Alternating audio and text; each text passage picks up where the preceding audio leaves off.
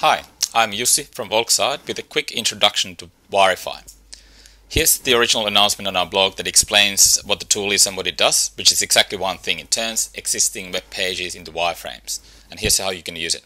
Just grab this link, uh, drop it into your bookmarks toolbar, and then when you go to another web page, you can click on that link and Wirify will convert the page into a wireframe. For this specific example, here's how it looks compared to the original.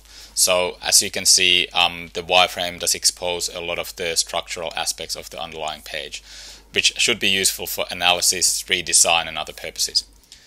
Let's just try that on another page as well. So click Wirify. That's my wireframe. Now, make sure you read through the original announcement. It's got a lot of further information in it. And if you want to try this yourself, just go to wirify.com and that'll link you to the correct page. My name is Jussi. Thank you for watching.